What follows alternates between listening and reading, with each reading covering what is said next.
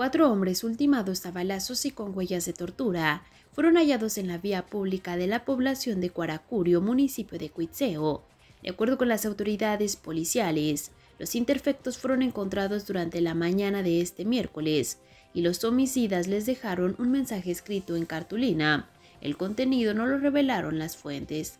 En el sitio se presentaron unos patrulleros mismos que acordonaron el área y pidieron intervención de la Fiscalía General del Estado. Después la unidad de servicios periciales y escena del crimen. Arribó a la mencionada ubicación, realizó las averiguaciones correspondientes y trasladó los cuerpos a la morgue, donde permanecen en calidad de no identificados, informó para Red 113 Luz Más Cervantes.